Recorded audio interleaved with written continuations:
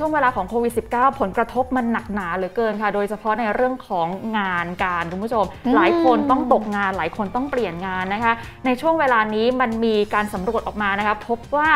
ช่วงเวลาไตรมาสที่ 1 ของปีนี้ค่ะ อัตราการว่างงานในประเทศไทยสูงที่สุดในรอบกว่า 5 ปีทีเดียวนะคะ นี่เป็นข้อมูลที่น่าตกใจเหมือนกันนะคะ แต่ในช่วงเวลานี้นับได้ว่าก็ยังมี 1 กลุ่มอาชีพที่ยังไปได้ดีนะคะ ก็คืองานสายไอทีนี่แหละคุณผู้ชม มาดูข้อมูลจากทาง JobsDB ประเทศไทยกันค่ะ เขาบอกว่าสถานการณ์ตลาดแรงงานไทยหลังเจอกับวิกฤตโควิด -19 พบอัตราว่างงานไตรมาสแรกอยู่ที่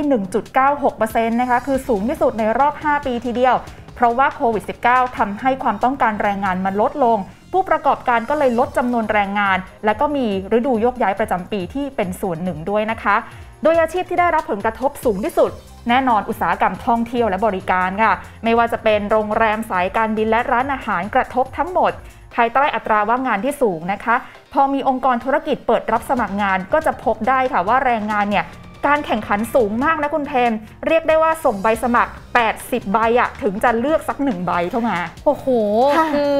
เราต้องไปฝ่าฟันใช่กับคนที่มาสมัครหนึ่งใน 80เยอะมากนี่ในหนึ่งค่ะตำแหน่งงานนะคุณผู้ชมในหนึ่งตำแหน่งอะค่ะโอ้โห คือ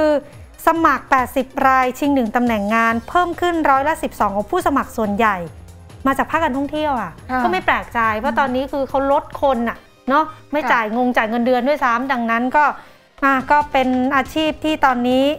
มีอัตราการว่างงานที่สูงด้วยนะ แต่เบื้องต้นมีการประเมินแนวโน้ม ทั้งปีคุณผู้ชมว่าตลาดแรงงานเนี่ย คือมันต้องแย่กว่าปีก่อนว่าปีนี้มันสาหัสจริง ๆ นะค่ะซึ่งหากโรคระบาดคลี่คลายได้ปลายปี ตลาดแรงงานอาจจะฟื้นตัวต้นปีหน้าค่ะ นะเพราะมันถึงจุดต่ำสุดไปแล้วอะอืมนะฮะหากโควิดคลี่คลาย ดังนั้นคุณผู้ชมมาดีกว่า เมื่อจะกู้คือแบบห่อเหี่ยวเนาะมาดูดีกว่าสายงานที่คาดว่าจะกลับมาจ้างงานคึกคักเลยนะใช่เป็นอุตสาหกรรมท่องเที่ยวแน่นอนค่ะบริหารโรงแรมบริการร้านอาหารนะคะเพราะที่ผ่านมา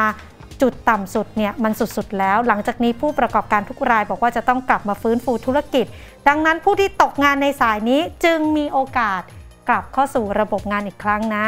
นะคะแม้ว่าอัตราการว่างงานจะสูง แต่คุณผู้ชมจำนวนการประกาศหางาน ผ่านแพลตฟอร์ม JobsDB พบนะสายงานขายอะคุณผู้ชม บริการลูกค้าอืมพัฒนาธุรกิจร้อยละ 15.3 นะคะสายงานไอทีก็มีนะร้อยละ 14.8 นะคะแล้วก็สายงานวิศวกรรมอยู่ที่ร้อยละ 10 นะคะก็ถือว่า คือยังมีคนที่ประกาศงานอยู่เหมือนกันค่ะส่วนกลุ่มงานนะคะที่มีการประกาศงานมากขึ้น เติบโตมากที่สุดก็คือสายการจัดซื้อนี่แหละค่ะ เรียกว่าเป็นร้อยละ 43 ทีเดียวนะคะของทั้งหมด สายงานขนส่งร้อยละ 37.4 และสุดท้ายสายงานประกันภัย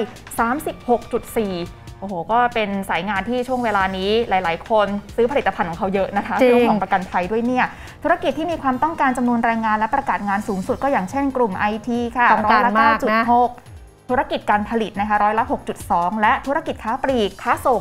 5.5 ค่ะ เออ นี่ก็โอ้โหเป็นดูแล้วก็ก็เข้าใจได้อะค่ะเออหลายคนก็บอกเข้าใจได้ แต่ว่าก็ยังดูรู้สึกว่าเออตอนนี้นะคนที่มีงานทำนะ และที่จริงเนี่ยมันมีผลวิจัยผลสอบถามอีกหลากหลายหัวข้อเลย หนึ่งในนั้นเนี่ยเขาก็ถามเหมือนกันว่าค่ะเรื่องของเงินเดือน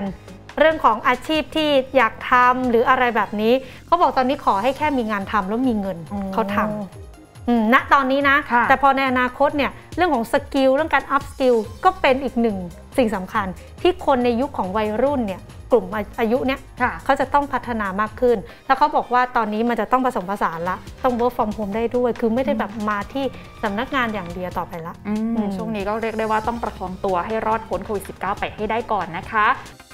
ขอบคุณที่ติดตามทีมเอ็นช่อง 16 ค่ะ อย่าลืมกด subscribe และกระดิ่งกันนะคะ เพราะว่าเรายังมีวิดีโออื่นๆที่น่าสนใจอีกเพียบเลยค่ะ และถ้าไม่อยากจะพลาดการรับชมแบบสดๆนะคะ ติดตามกันได้ที่ Facebook TNN Live หรือว่าติดตามในช่องทางอื่นๆ ได้สะดวกง่ายดายเพียงแค่กดลิงก์ใต้วิดีโอนี้ค่ะ